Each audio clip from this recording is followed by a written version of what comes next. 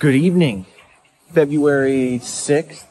Yes. 6th. Today is Monday. We are doing this on a rooftop bar because I don't know if it's going to be very successful if we do this back at the room later. I don't know if Grandpa's going to be sleeping or what. So here we are in Caye Caulker. We left Corozal this morning at, I think we left the house at 6 a.m. and walked to the boat. 618 at the dock. Everybody else. Oh, sweet.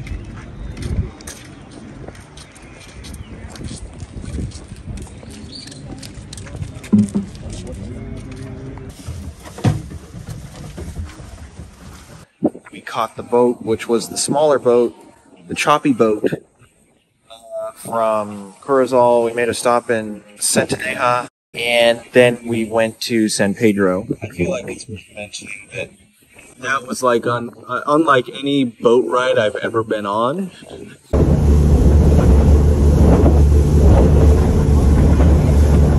Uh, the humanity in that tiny little fiberglass hull is astounding. There were Just I, I you had to say something about that. elderly babies, elderly baby. the whole nine yards. Elderly, comma Okay, babies. okay. And Jordan and I, Jordan and I lucked out and got two of the best seats in the house, The very front. right up front.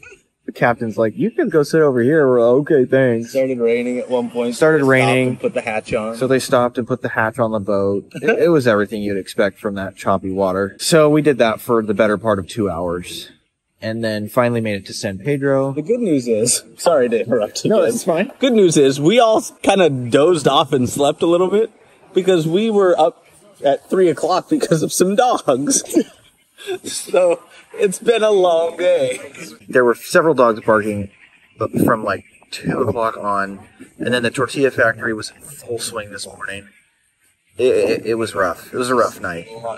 So I think we're going to sleep pretty well tonight. So then we got to San Pedro. So then we got to San Pedro and walked across the island uh, to a little cafe restaurant thing, and then we ate in the sand. Which was nice.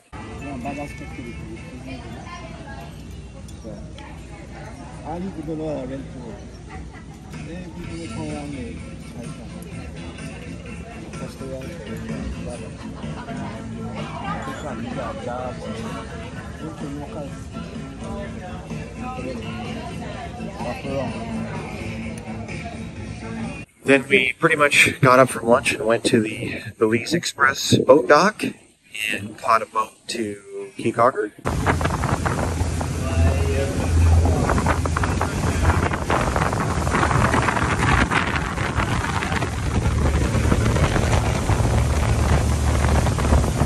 And that was a little half hour.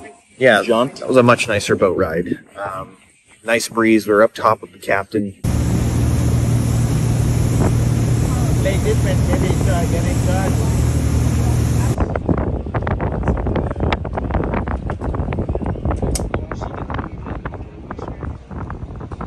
They gave us emergency instructions. They gave us emergency instructions on this one, so it was, felt a little bit, you know, safe. And then we showed up here and checked into our apartment. I don't think I need to say much more on that.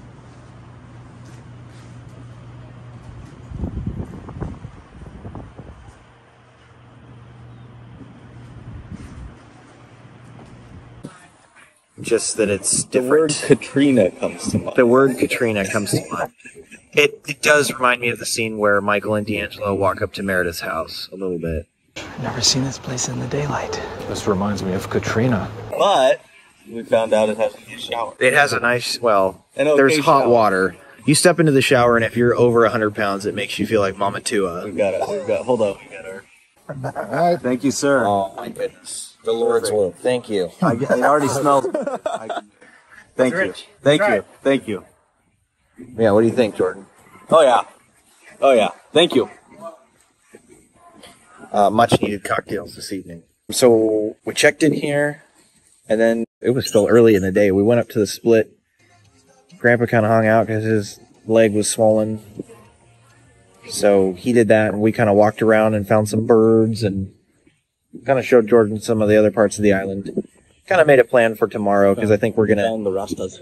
we're gonna we found the Rastas. We showed him the generator.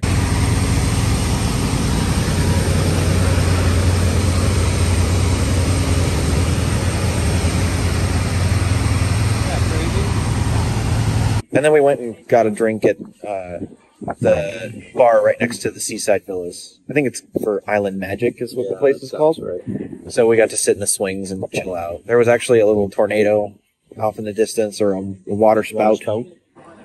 Um, so that was cool. And then we walked back to the split, re-upped with Grandpa. Kind of watched some kids play soccer for a little bit. Watched other people embarrass themselves at the beach.